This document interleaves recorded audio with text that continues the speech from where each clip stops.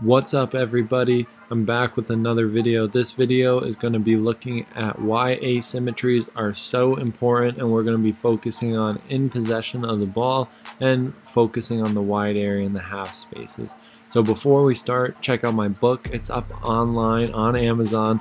There's a link in the description below. So be sure to check that out. And the next one's coming out the end of next week probably or even as soon as this weekend. So be on the lookout for that as well and let's get right into it.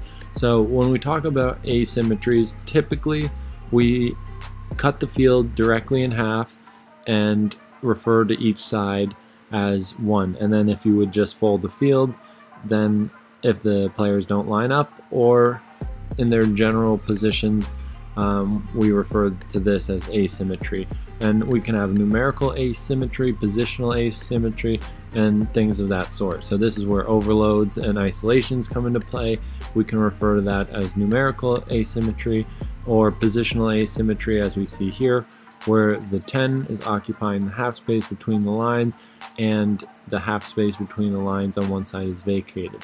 So let's get right into it. As we see, the first piece of asymmetry here is the wide areas. So in the wide areas, on the left side we're going with double width, and then on the weak side we're going with single width. So that's the first form of asymmetry. The next is the use of the half space between the lines. So we have one advanced midfielder and then a vacated half space on the other side. So then from here we have a bit of symmetry with our back three but how the back three is created has asymmetric movements involved. Because on one side we have our fullback creating the back three he often rotates from the right sided wide area a bit higher up the field and then slots in as a third central defender whereas the left fullback plays more typically as a fullback you'd expect.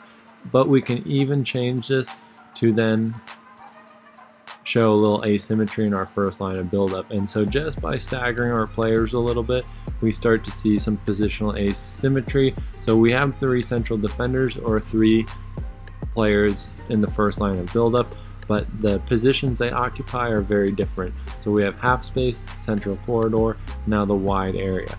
And we can we can show a few interactions on why this might be important. So if ball gets circulated, oftentimes the reference point for the wide midfielder is the wide fullback to go and press. So first off, the distance this player has to go increases very much just based on the asymmetric positioning.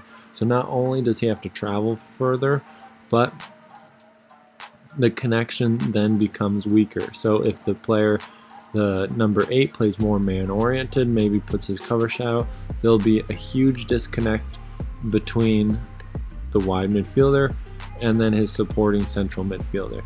And then we can continue on with the shifting. So now we start to see a bit of a break in their defensive setup. So this space can then be be utilized and now if the fullback then goes we can even shift over a little bit further to make it a, a little more realistic. So with good vertical compactness, the space between the line is scarce, but the full fullback can't quite jump yet because of the threat of the 10 to run in behind and concede space. So he might cheat a little, and this gap here is what then the teams would try and exploit when they are in possession of the ball. So this could be through a third man movement or maybe a holding midfielder checking and then you can find the wide area and create a 2v1 versus the fullback or create some route of progression to further manipulate the defense. But that's just one way. Now we can look at why a team would use asymmetry in the wide areas. So the biggest form of asymmetry often comes from single width and double width. So if we circulate the ball, when playing with double width, pretty typical. The fullback will go, the wide midfielder will go, support in the half space, holding down the 10 area, and the center backs will shift across for cover. So from here, not too many questions asked in terms of the shape. Everyone will have their role and it'll be pretty straightforward. But now when the team circulates possession again, they'll have to defend this side very different than they did this side because now there's occupation in the half space, single width now, and a deep lying playmaker. So as the ball goes, the wide midfielder, as we talked about before, increased distance would have to shift. Fullback would then have to go, and now they would have to use some sort of marking strategy to then take care of the player in the half space, whether that be man orientation, conceding space in front of the block, or if they're more spatially oriented, worrying about the connections between their players, now there's space between the lines to then exploit. So depending on how the team prioritizes their shifting and how they control space between the lines, this can be very different. And not only this is the biggest difference is the shifting principle, so they'll have to defend this left side of the blue team's attack. Very different from how they'll defend this right side. So either way, you're eliciting different responses from the defensive team. So forcing them into more complex movement and to deal with different problems that your offensive attack is causing them.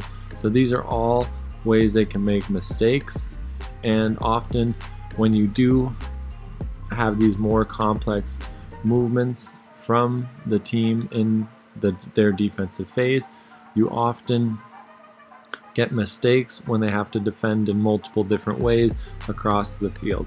So this isn't these aren't the only forms of asymmetry, but these are the ones I wanted to cover today. So as a little introductory video to asymmetries, I hope you guys enjoyed it. Please like and subscribe to the channel if you haven't already, and I'll see you in the next one.